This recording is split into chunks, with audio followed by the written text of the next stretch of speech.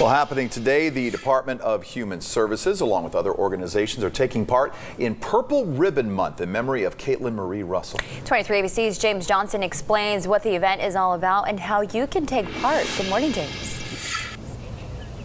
Yeah, that's right, Mike and Alex. It's all about keeping kids safe in and around hot cars, especially during uh, these summer months. And like you said, the Department of Human Services, along with other organizations, are going to be hosting this event today. And I'm actually here with Officer Robert Rodriguez with CHP to kind of talk to us about this event and just kind of what it's all about.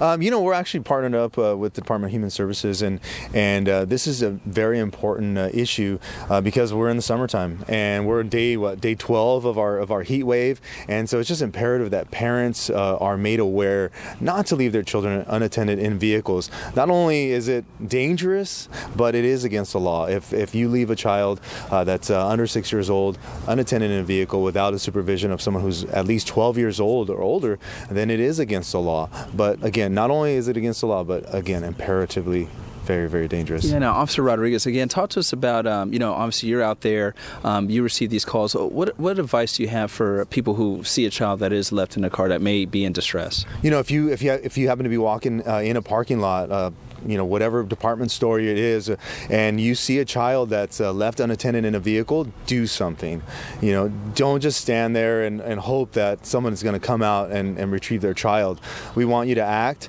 um, don't be afraid of getting into somebody's business because protecting our children is everyone's business. And so uh, react, call 911 and uh, get the child out of the vehicle as soon as possible. Yeah, now how quickly can it get? Like, uh, I'm not sure, I'm pretty sure it's going to be close to 100, if not 100 today. How quickly can it get, um, you know, dangerous for a child in a car? Oh, very quickly, especially, you know, when it's th- 3 o'clock in the afternoon, you know, it's, it's the major heat time, um, you know, temperatures can rise very rapidly. As soon as that air conditioning in that vehicle turns off, mom leaves and leaves the child, uh, and it could be by mistake that she leaves them in the vehicle and walks away.